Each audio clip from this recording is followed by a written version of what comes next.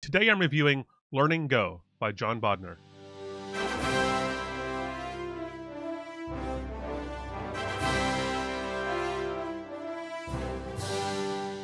Hi, I'm Jonathan Hall, and I'm always asked, what book should I buy to learn Go? And I don't know the answer, so I'm trying to find the answer. I recently bought six books on Amazon.com all about learning Go. Now, they're all published within the last year to year and a half. Hopefully, they'll be reasonably up to date that way. And they're all targeting beginners of the Go language. So there's nothing here about advanced techniques or anything like that. These are all about learning Go. And I'm reviewing them one by one. My goal is to find the best book that you can read to learn Go in 2023. And so I'm doing the hard work for you. Let's dive in. So this is the third book uh, in my series. If you haven't seen the other two videos, uh, I'll have a link in the description to the playlist. You can watch all of those. Um, and be sure to subscribe so you can see the other videos as they come out and my final conclusions at the end of the series. So this is my first book by a publisher I already know well. It's published by O'Reilly. I learned to program largely uh, reading O'Reilly books. I remember reading Learning Perl back in 2006 probably. Um, and I read other books by them, many other books by them.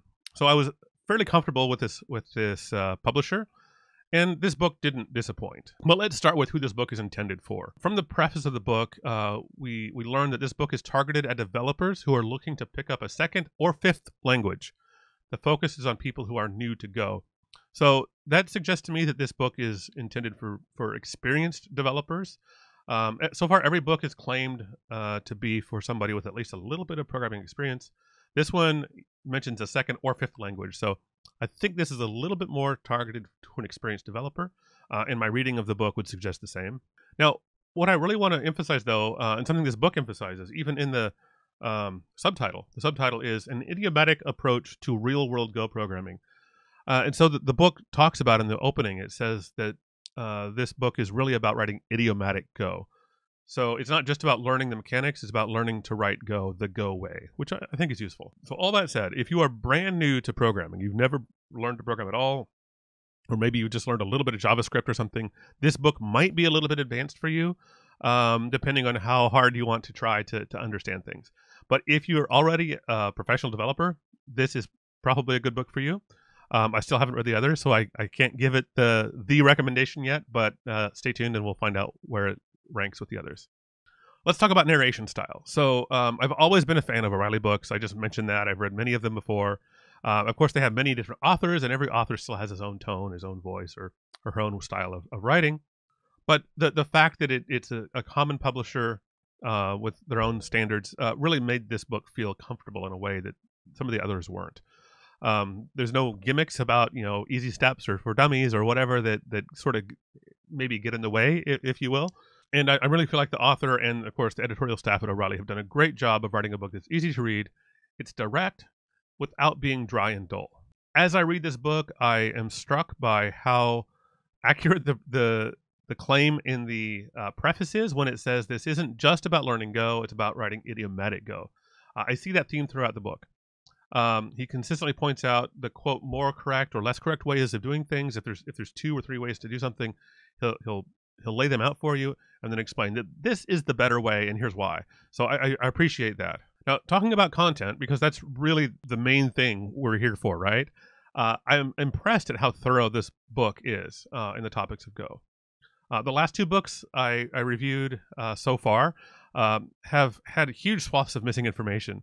Uh, this one, I don't really feel that way. In fact, if, if anything, I could maybe fault this book at being too detailed in some cases. Uh, it spends two full pages talking about complex 64 and complex 8 types, which almost nobody uses. Um, I, I've never used them. I've been pro- programming in Go for eight years. I've never used the complex types.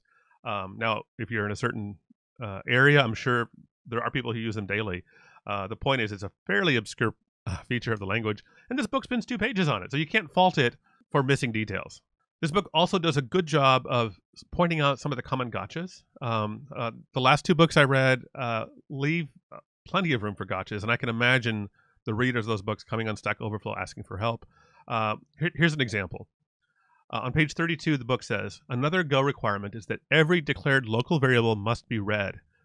It is a compile time error to declare a local variable and not read its value. I have seen this question asked so often on Stack Overflow, and this book makes a point to point out uh, the, the the issue, and so that it won't it won't trip you up.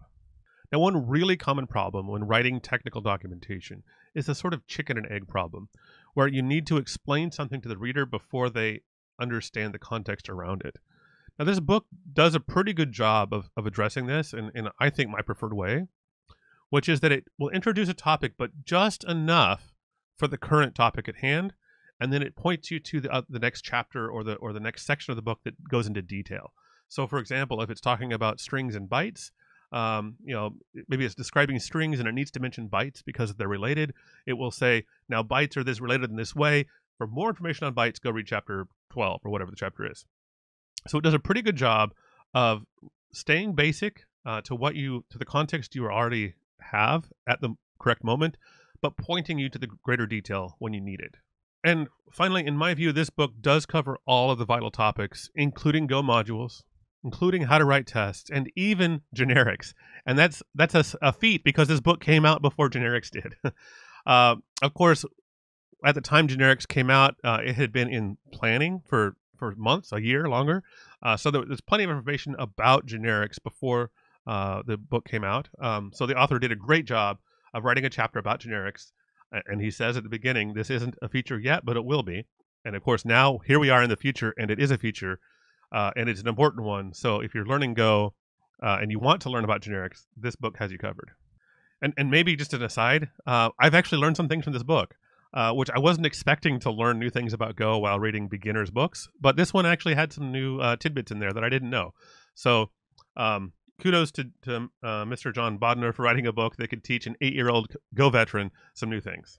Let me talk about accuracy because I think that's also important in all of these books. Um, the good news is I haven't found any accuracy problems in this book. The only exceptions would be some things that are outdated. And uh, honestly, I'm amazed. This book even has notes in it telling us that certain things are outdated and will be updated in an upcoming release. And, and of course, the way they do that is they've, they've had this book published more than once. It's still the first edition, but they've added a few little uh, notes uh, occasionally when they whenever they print a new version. They add a few notes on some pages that say this paragraph is outdated. Uh, check for a new version. So I, am I'm impressed. I'm honestly impressed by that. So physically, this book is exactly what you would expect from an O'Reilly book. If you've read one, it's on it's black and white on stark white paper. Uh, there's a few little graphics for icons and things like that, uh, but for the most part, it's it's just text. Um, the code samples are are in a monotype font, easy to read. Uh, no complaints about the physical structure here. What's my conclusion? Um, you can probably tell already. I like this book. I'm a fan. Um, I, I, can't give it my final uh, recommendation yet because I haven't read all the other books. But so far, this is easily the best of the three I've read so far, with three more still to go. The only reason I would suggest not reading this book if you're trying to learn Go so far uh, is if you're an absolute beginner to programming. Uh, some of this book will probably be a little bit over your head. Um, that's not to say you can't do it if you're ambitious. Uh, but if you're looking for an easy introduction to programming, this probably isn't that book. But let's let's stick it out until I finish all six books, and I'll give my final recommendations. So if you haven't already, hit that subscribe button. If you learned something today, hit like, and I will see you at my next video.